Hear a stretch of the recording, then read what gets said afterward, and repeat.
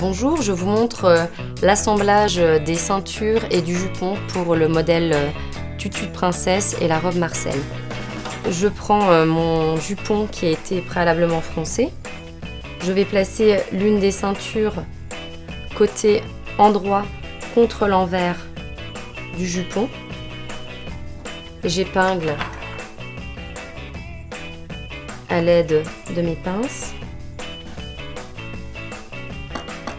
Et je prends la seconde ceinture que je place endroit contre endroit du jupon.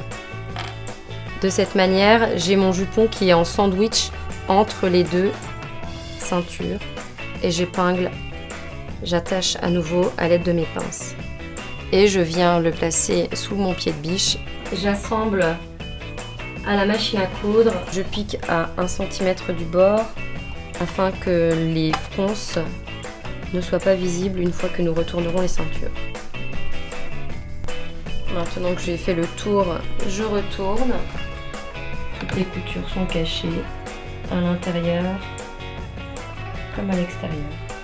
Ce qui est agréable pour l'œil et au toucher.